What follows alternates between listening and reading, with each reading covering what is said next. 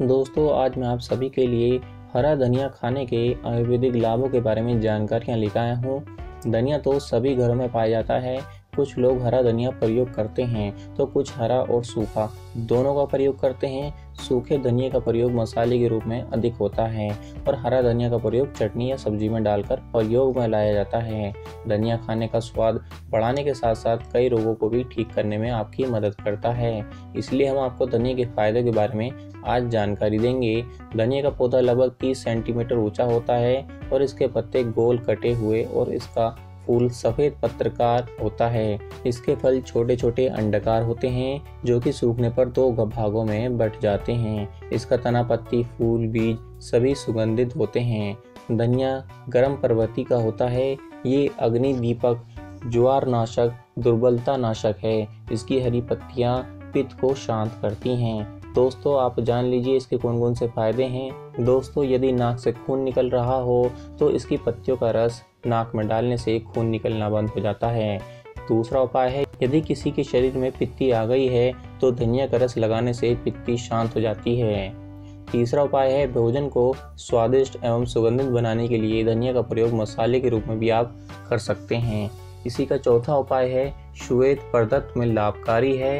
हरा धनिया की पत्तियों का रस मिश्री के साथ पीने से महिलाओं के श्वेत पर्दर में लाभ होता है। इसे बनाने के लिए आप धनिया की हरी पत्तियों लें कूट कर इसका रस निकाल लें।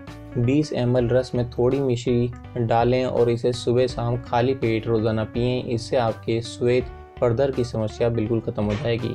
धनिया से बना हुआ तेल लगाकर मालिश करने से वात विकार एवं दर्द शांत हो जाता है। इसको तैयार करने के लिए कोई भी तेल लें, सरसों का तेल हो या कोई भी, कोई बेहतर तेल लें और उसमें सूखा धनिया डालकर पाँच मिनट आग पर रखकर गर्म करें। उसे आग से उतार कर ठंडा कर लें और फिर इससे मालिश करें। इससे आपको बहुत आराम मिलेगा। दोस्तों धनिया की पत्तियों का शरबत पीने से पेशाब में जलन, प्यास, आँखों में जलन, दस्त और गैस संबंधित जितनी भी समस्याएँ हैं, वो बिल्कुल खत्म हो जाती हैं। दोस्तों, ध्यान रहे धनिया की अधिकता नुकसानदायक भी होती है। धनिया की पत्ती या धनिया के अधिक सेवन से पुरुषों की काम शक्ति कमज़ोर हो जाती है और महिलाओं का मासिक धर्म रुक जाता है। इसलिए 18 से 40 वर्ष के लोगों को धनिया अधिक नहीं खाना चाहिए। यदि पाचन खराब हो तो आप धनिया और सौंठ का काढ़ा पिए। इससे पाचन शक्ति आपकी बेहतर हो जाएगी। धनिया और जीरे का शरबत पीने से शरीर में गर्मी शांत हो जाती है, इसलिए इस पेय को गर्मियों के मौसम में पिया जाता है, जिससे लू लगने का खतरा आपका बिल्कुल खत्म हो जाएगा। दोस्तों, धनिया का काढ़ा सर्दी और खांसी में भी काफ़ी आराम पहुंचाता है। काढ़ा बनाने के लिए 100 एम पानी में लगभग 20 ग्राम हरे धनिया डालकर थोड़ी देर उबालें। जब काढ़ा बन जाए तो इसको मरीज़ को पिला दें, इससे उसको बहुत ही ज़्यादा लाभ मिलेगा। दोस्तों, ये थी जानकारी धनिया के आयुर्वेदिक लाभों के बारे में। आप आने वाली और भी महत्वपूर्ण जानकारियों से जुड़ने के लिए हमारे चैनल को सब्सक्राइब करें। तब तक के लिए धन्यवाद।